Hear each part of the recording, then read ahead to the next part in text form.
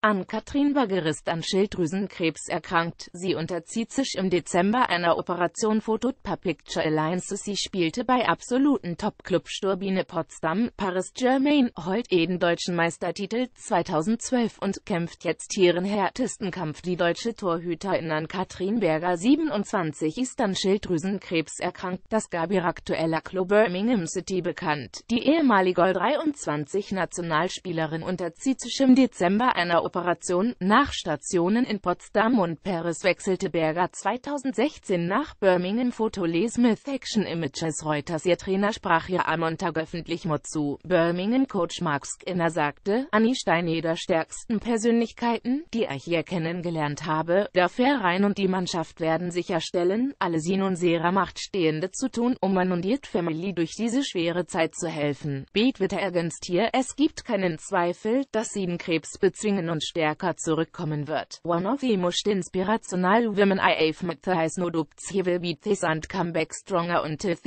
show you that at BCLFC at BCF family is within step by step.